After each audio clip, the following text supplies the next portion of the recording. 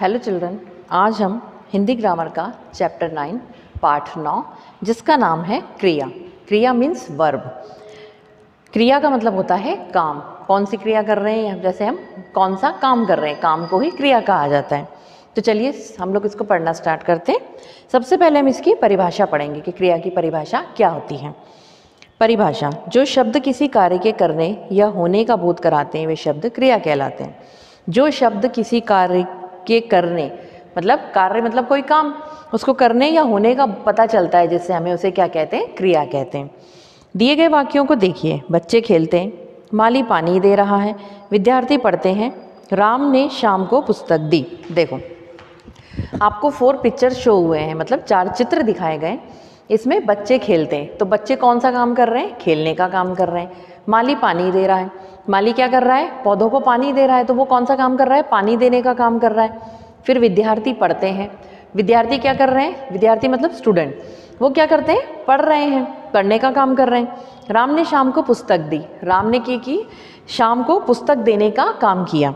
तो आपको जो ये चार चित्र बताए गए हैं, ऊपर दिए गए वाक्यों में खेलते हैं। दे रहा है, पढ़ते हैं। दी। आदि शब्द के द्वारा कार्य के होने की अवस्था या स्थिति का बोध हो रहा है। सही, यही सभी शब्द क्रिया है। देखो स्टूडेंट आपको, हमने क्या बताया कि क्रिया का क्या मतलब होता है? कोई भी काम या कार्य। क्रिया का और भी नाम है, काम और कार्य। मतलब कोई कार्य हो रहा है और कोई कर रहा है। जब हमें ये पता पड़ता है तो उसको हम क्या कहते हैं? लिंग कहते हैं। सॉरी, क्रिया कहते हैं। तो बच्चे खेलते हैं। बच्चे क्या काम कर रहे हैं? खेलने का काम कर रहे हैं। मतलब वो कौन सा कार्य कर रहे हैं? खेलने का। तो इसमें क्रिया क्या हुई? खेलना। फिर माली पानी दे रहा है। माली क्या कर रहा है? पौधों में पानी दे रहा है। तो वो कौन सा काम कर रहा है? पानी देने का काम कर रहा है। इसमें क्रिया क्या हुई? दे रहा है। फिर विद्यार्थी पढ़ते हैं। अब विद्यार्थी कौन सा काम कर रहे हैं? पढ़ने का काम कर रहे हैं। तो इसमें क्रिया क्या हो गई? पढ़ते हैं। राम ने शाम को पुस्तक दी।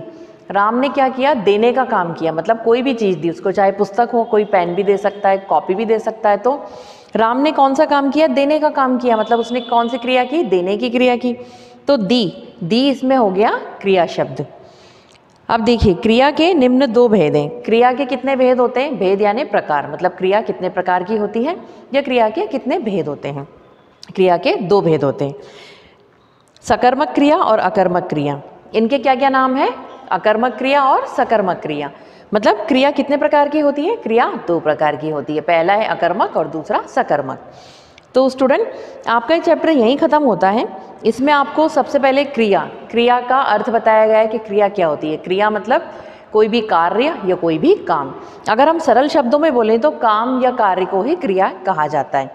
और फिर इसकी हमने परिभाषा पढ़ी कि किसी भी जो शब्द कोई काम के होने का मतलब जिस शब्द से हमें किसी काम के होने का पता चलता है या करने का पता चलता है, उसे क्या कहते हैं? क्रिया कहते हैं। और आपको फिर मैंने कुछ उदाहरण दिए।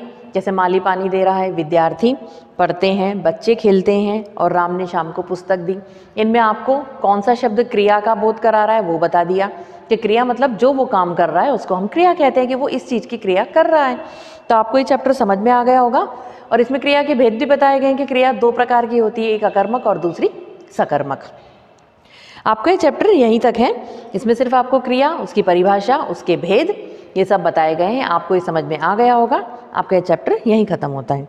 स्टूडेंट इस चैप्टर की बुक की एक्सरसाइज में फिल करके आपको व्हाट्सअप पे सेंड कर दूँगी और इसके क्वेश्चन आंसर आपको रिटर्न में सेंड कर दिए जाएँगे, जिन्हें आपको हिंदी ग्रामर की कॉपी में नोट डाउन करना है। Thank you student